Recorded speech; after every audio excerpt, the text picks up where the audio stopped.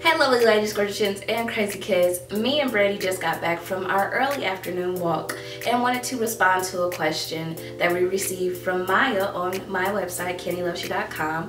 Maya is a long-term supporter. Thank you so much, Maya. She's been with me since 2009, 2010, since I was transitioning to natural hair. And Maya asks, as a single full-time working professional woman like myself with many hobbies, how do you balance being a pet owner? What are the struggles? Is owning a dog worth it? And what are your tips for someone in a similar stage of life making the commitment of getting a dog? If you follow me on any social media sites, you should be very familiar with my four-year-old min pin, Brandy. Um, basically, Brandy's owner passed away and her and her brother needed a home so my coworker asked if I would take Brandy in. I was very unsure about it because although I had been considering getting a dog or a cat, I was very just, I was terrified. Um, so I took her home for one night just to see how things would go. She immediately, literally as soon as I opened the door, ran in and made herself at home and just had the most adorable personality and I was like, she has to be mine. So that's how Brandy came to be my doggy. I love her so much She's my best friend. And having her for the last six months has definitely taught me a lot about being a dog owner. Before I get into the video, I will say that I am actually able to take Brandy to work with me. We are gonna make the adjustment to her only coming to work with me on half days. She'll, she'll be spending a lot more time at home, but I still feel like I have some you want to get down? but I still feel like I have some valuable tips that um, could be helpful for um, new dog owners and people considering um, bringing a new furry friend into their life. So first off, Maya asks if it's worth it to get a dog and really that depends on what your purpose with getting a dog is. I don't think you should necessarily get a dog to heal loneliness. I wanted companionship, but I just don't feel like you make that type of commitment just out of loneliness. If you're someone who wants genuine friendship with the animal, you want your kids to have a pet, or you want to make them a part of your family, if you have any of those desires and you're going into it with the right intentions completely you'll feel like having a dog is worth it but if you're kind of just making a spur of the moment decision I, I don't think that you should do that with an animal. If you're someone, she is over here about to pass out after this walk. sorry, sorry, sorry. if you're someone who's never been a dog owner, my recommendation to you would be to probably not get a puppy, especially if someone you're someone who does have a busy schedule. Thankfully, because Brandy is four, even though I had to break her into a lot of things because she just didn't seem to be a very active dog. Uh, uh, she was obedient, but she didn't know like commands and things like that when I got her.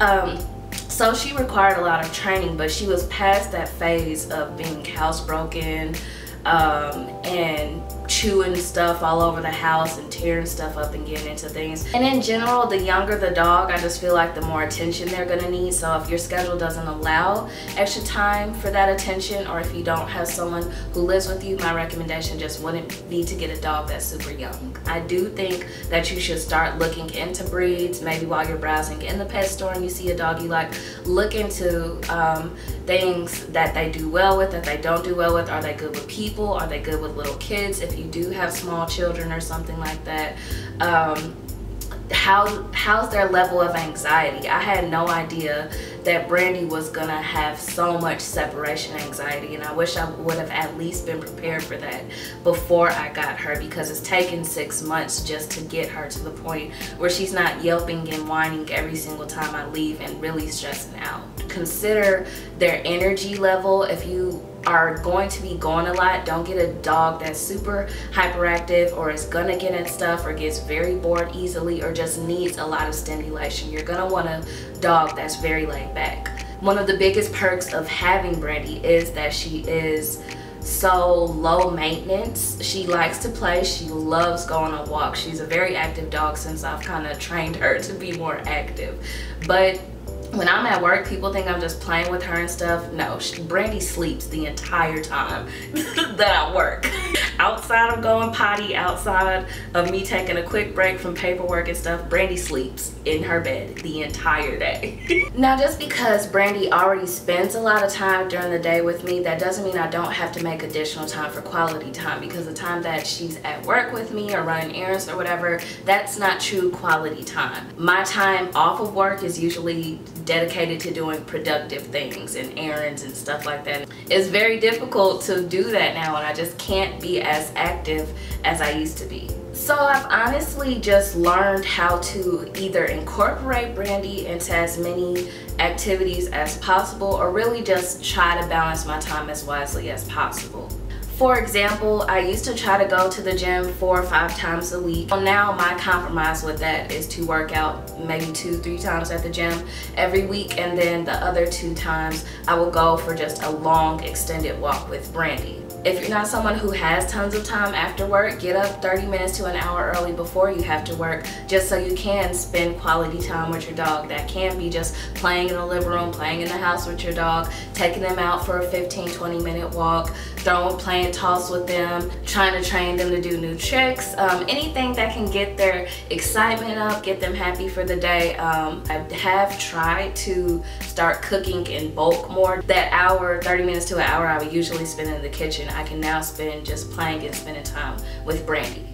I've also gotten back into things like reading, just calm activities that I can do at home. No, we're not playing or anything, but sometimes your animal just wants to be near you. It's not like you constantly have to be stimulating them. If you like to read or write or paint or just listen to some music, even if you like to play video games, just let your dog sit with you while you do that and that can be very helpful for them. To be honest, it's benefited me to have Brandy because it has required me to slow down a lot, to prioritize more, and to stop spending as much money. A few tips I can give to you all is don't just go out and buy tons of random dog stuff. I wish I wouldn't have gone and out of the excitement of having a dog or out of the confusion of not knowing what the heck to do with the dog i just got a lot of unnecessary stuff. I got her like stair steps to get on the bed. I ended up getting her a whole bunch of toys and brandy doesn't mess with toys. She likes cat toys but those are basically all just like pieces of yarn with little cotton balls and stuff on the end. I'm like i literally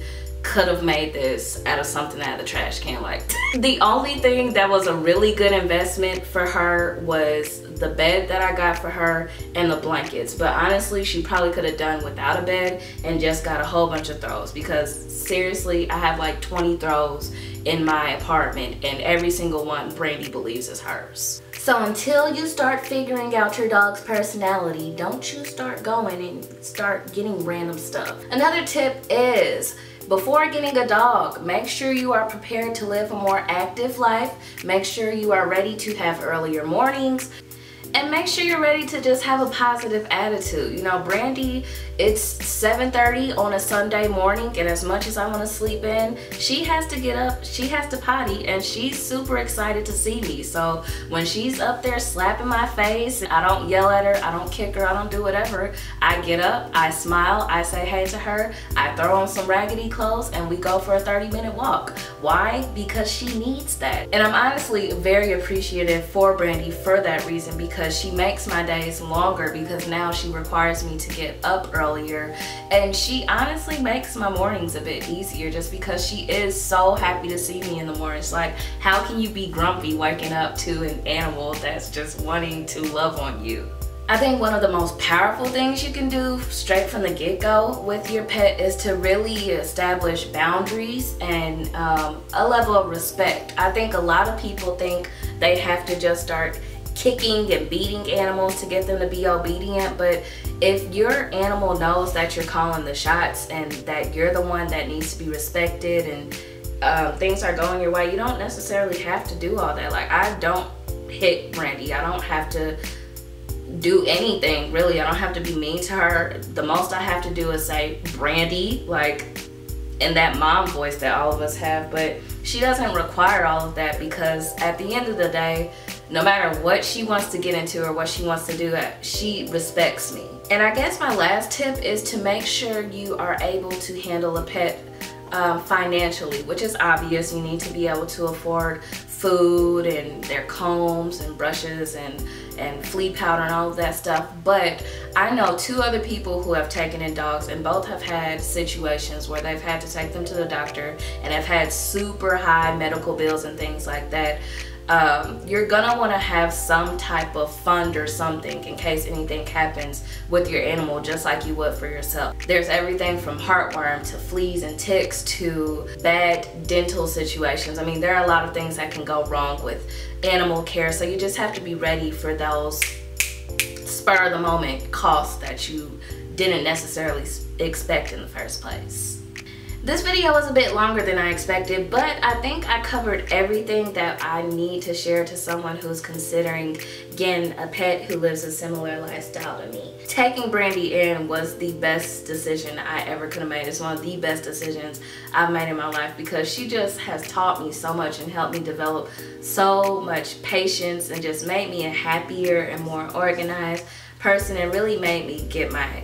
priorities together. So I don't know what I would do without her. All right, and with that said, we're gonna see you lovely ladies, gorgeous jits, and crazy kids later. Kandee loves you.